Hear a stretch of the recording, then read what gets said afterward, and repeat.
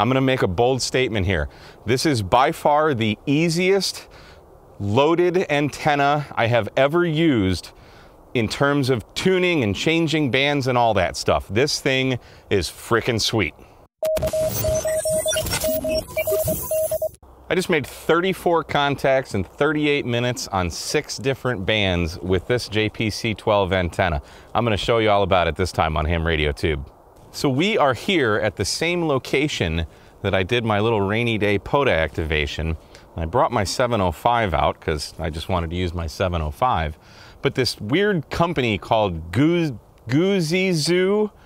emailed me and asked if I'd be interested in trying some of their products and they sell this JPC 12. I'd been curious about this antenna. Honestly, I was a bit skeptical, but this thing is freaking awesome. So you can get this on Amazon. I'll leave a link, but I just want to show you how cool this antenna is. Like it's a it's a center loaded uh, vertical. So here's your coil. It's got it's got an SO239 in the bottom here with a little adapter and some radials. These come as like a ribbon wire. You got to separate them. One of the first things I was wondering is can you just leave all the wires like connected on that ribbon wire? But no, it didn't uh, didn't work too well. So separate the wires. But this thing is so incredibly easy to set up, to use. It's clearly effective because I just used it on 40, 20, 17, 15, 12, and 10. Made contacts on all those bands, no problem, with 10 watts. So let me uh, let me show you how I got it set up and and uh, just talk about it, and I'll show you how incredibly easy it is to tune. Because this is by far, I'm to make a bold statement here. This is by far the easiest loaded antenna I have ever used in terms of tuning and changing bands and all that stuff. This thing is freaking sweet. And the reason I was interested in this, I mean, look where I am. I'm in the literally the middle of a forest, okay?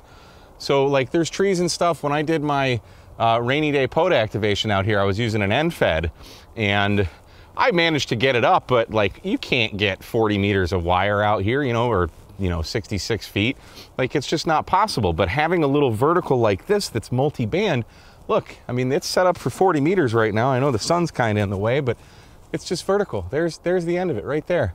Just straight up.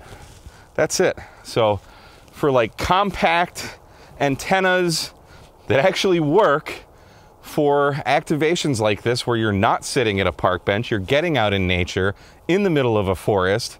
This is what I love to do. And sometimes an end just ain't the secret. So let me show you how I got this set up. So here's what I really like about this. This, this whole thing, the whole antenna, I've got kind of all the metal bits and bobs here in the side pouch for the 705 bag.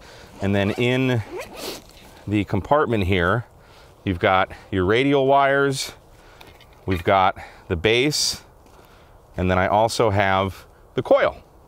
And the way this works is you take this ground spike, so you can just stick it in the ground, comes with a death spike, and you're gonna use the ground spike to connect your radials with this little ring. And then you screw this into the base and you stick it in the ground. Then you just spread apart your radial wires. This is kind of the part that I'm not a huge fan of. These radial wires tend to want to do that. Big bird's nest. Uh, so that's kind of the Achilles heel of this thing. It takes a little while to set up these radials because you got to untangle them. So I'm probably going to end up switching these out and just make radials with like poly stealth wire because it doesn't tend to kink up and not like this. But once you get them out, this thing works amazing. And I'm just like, I'm not really paying all that much attention where I put them. I'm just kind of throwing them out. So now that's done, let's show you the next part. Once you've got the base sorted, you've got these four aluminum poles that you screw together. Like everything about this, like this is, this is pure Chinesium, but I'm like, I'm really, really pleased with the quality of this thing. They just thread together, okay? So we've got the four poles. Then we screw the coil onto the rods that we just connected. Okay. And then all of this gets screwed to the base. And then you've got a telescopic whip. Now, one thing that you'll want to do, and this is something that me and uh, my buddy Dave, KB5UTY, did in my front yard.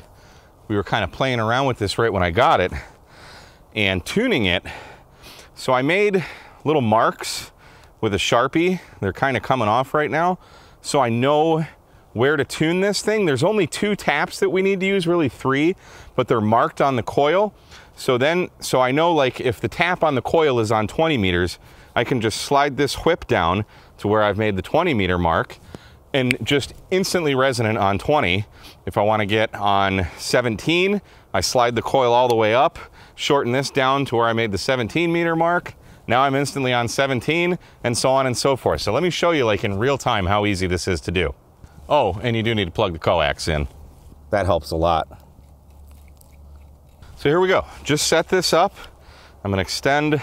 I know that for 40, I'm gonna go this whole section down and then in a little bit. I just kind of know that. And then this little slide right here, there's markers on it. One down here for 20 or for 40 and one up here for 20. And this little slide thing has a little indentation that just kind of rides the, the wire there, the coil. So you just put it on that and let's go over to the radio and I bet you we're gonna be in tune.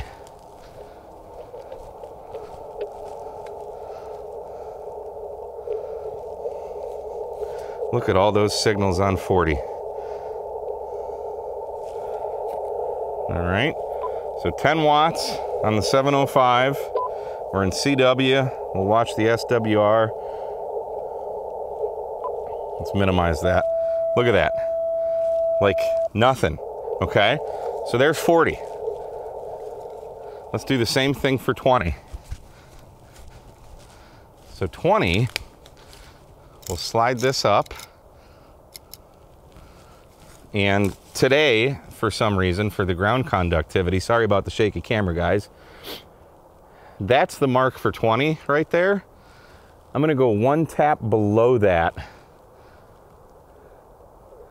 Make sure it's riding on there, okay? Then I'm gonna extend the whip to my 20 meter mark there.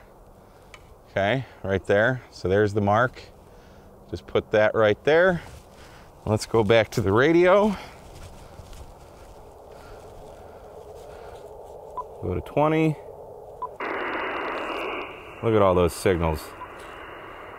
Throw her in CW key up. Look at that, 1.3 maybe, just like that, okay? Let's do 17.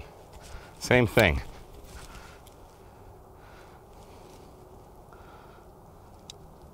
I'll put you down for this. 17 meters, you take this slide and just bring it all the way up, and then there's my mark for 17 meters.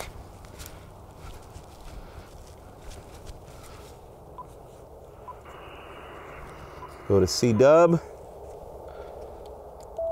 Look at that, 1.4 maybe? How fast is that? 15 meters. Now, here's where it gets different. 15 meters and higher frequency, we need to take the loading coil off. So I'm gonna take the whip off, take the loading coil off. We're not gonna use this. And now it's just gonna be, whoops, a quarter wave vertical. So I've got my mark here for 15 meters, just shorten the whip, screw this back in without the coil. All right.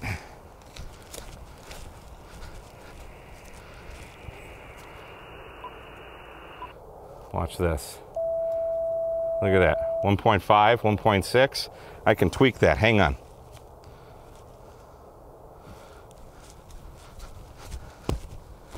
Oh, you fell. Why'd you fall? I just shortened it a little bit. Let's see what happens. Eh, 1.5. Why is it worse? Whatever. I was like perfect when I was doing my activation, but you get the idea. There was zero SWR when I was doing my activation earlier. All right, 12 meters.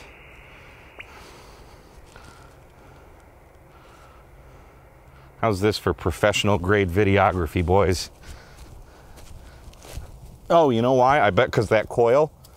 Let's try, that coil was right near the, the counterpoise. I wonder if that had anything to do with it before I change it for, for 15. Nah, doesn't matter, whatever. I promise it was better. There, there's 15. Look at that, no SWR. I had the whip in the wrong spot. My mark came off. What are you gonna do? But that's 15 meters. Okay. Now we'll do 12 meters.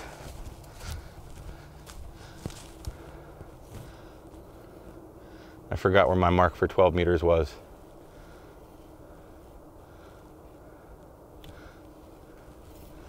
There. I think that's 12 meters. The Sharpie's wearing off.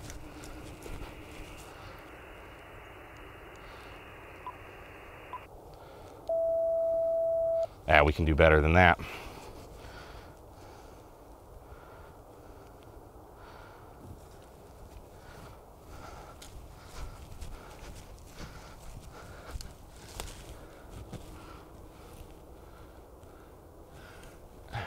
I don't think that's the right mark. Maybe I will have to edit some of this.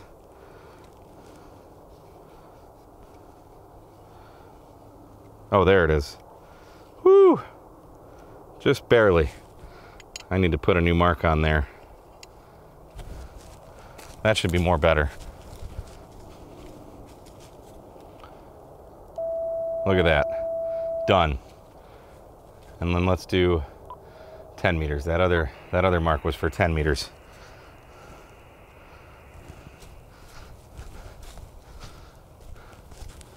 Which is all the way down there. That should be good.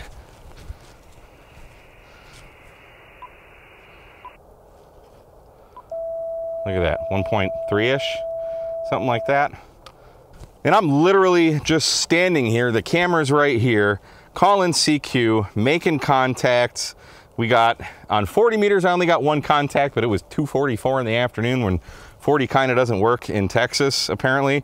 But he is out, uh, I don't know where he was, but you know, some, some NVIS propagation there. I got all the way up to Saskatchewan on 10 meters, uh, New Jersey, New York, uh, Indiana, like all over the place. 10 watts, some RG316 coax, and that's it very compact, very easy to use. Like, this might be my new favorite loaded coil antenna. It's easier to use than Wolf River coils. It's easier to use than the Buddistick Pro. It's probably just as good in terms of getting out. But the main difference for me when like when Dave and I were setting this up, and Dave's probably watching this, so put a comment in, Dave, what our experience was like the first time we used this it's just so easy. Tuning loaded coil antennas. You notice I don't even have an analyzer with me. I left it in the car. I meant to bring it, but I forgot. Who cares? Don't need it. I tuned it at home. I made the marks where the bands are on the whip. You only need to fuss with two taps on the coil. They're pre-marked. Now I've used this at home. I tried it at Huntsville State Park, and now I am at Sam Houston National Forest and Sam Houston National Forest Wildlife Management Area. It's a twofer and did have a little bit different results, but it just, it freaking works. It does exactly what it's supposed to do. It also comes with a handsome carrying case that's got all the, the little straps and things for you to actually, like, if, if you don't want to do what I'm doing and just throw it in your bag. It does have a, a, a pack, uh, a case where everything fits in nicely. There's a little zippered pouch to put your coax and things like they thought of everything. I kind of thought this was just like a knockoff of the uh, the Buddistick Pro, but with ground-mounted radials. It's not. It's a, it's a, it's its own thing, and I really really like it. I'm surprised at how much I like it. So that's kind of my review. Um, maybe at the end of this, I'll put some contacts if you want to watch that, but.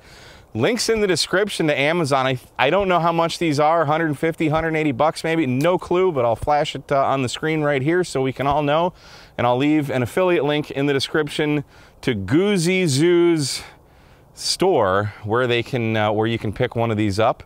I like it. It gets the K8MRD stamp of approval.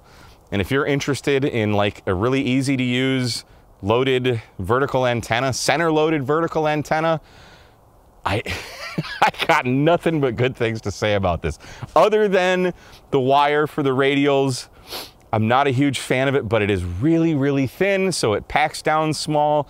I mean, it honestly might have taken me three minutes to kind of get all the ground radials sorted out and untangled and stuff. And maybe with use, it'll kind of relax a little bit, but I doubt it. It's just the jacket catching on itself and, and tangling up and stuff. But I mean, for for being out in the woods, emergency communications, which is kind of like my jam, that's why I got into ham radio, to be able to just be out in the woods stuff hits the fan, set up a quick antenna like this, and be on the air and actually making contacts.